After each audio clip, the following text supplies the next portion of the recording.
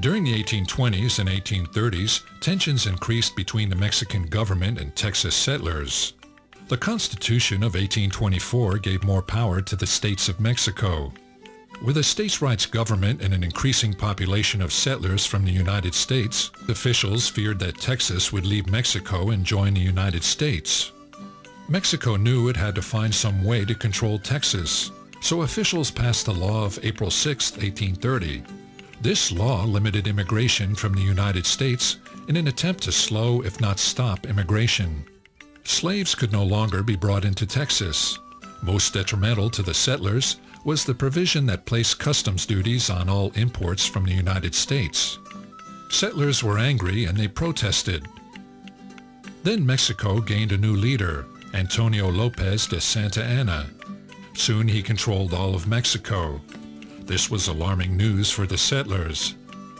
One Mexican official, Colonel Juan Davis Bradburn, was involved in a conflict over escaped slaves. When William T. Logan came to Anahuac seeking the escaped slaves, Bradburn refused to release them. Logan hired William Barrett Travis to represent him. Travis was arrested for attempting to trick a guard into releasing the slaves. His partner, Patrick Jack, was also arrested when he protested Travis's arrest. The protesting settlers drafted the Turtle Bayou resolutions, pledging their loyalty to Mexico. Travis and Jack were released. Although they were pleased with their victories, the settlers were not happy with some of the Mexican government's decisions. Delegates met in October 1832 to draft a set of resolutions. They elected Stephen F. Austin as the president of the convention. They promised allegiance under the Constitution of 1824 and called for the repeal of the law of April 6th. One of the most important resolutions was a request that the state of Coahuila y Tejas be divided so that each territory had its own government. Austin traveled to Mexico to present the resolutions directly to the Mexican government. Santa Anna agreed to most of the resolutions, but would not allow separate statehood for Texas. After his meeting, Austin headed back home and was arrested along the way.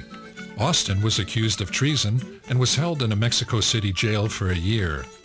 General Martin Perfecto de Cos was sent to Texas. His orders were clear, enforce Santa Anna's laws. Cos marched to San Antonio to enforce the orders.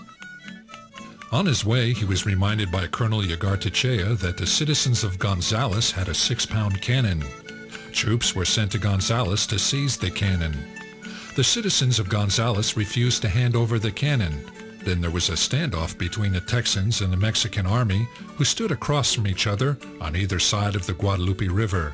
The settlers fired the tiny cannon, and the Mexican troops retreated.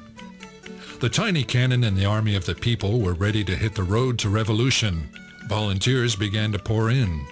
Since the Battle of Gonzales was over, they headed for San Antonio, and the Texans began a month-long siege of the city. Ben Milam issued the challenge, who will go into San Antonio with old Ben Milam? On December 5th, 300 Texans launched their attack. Fighting was fierce and Milam was one of the first to fall. Then Cos hoisted a white flag of surrender. The Texans had won and Cos led his troops out of Texas.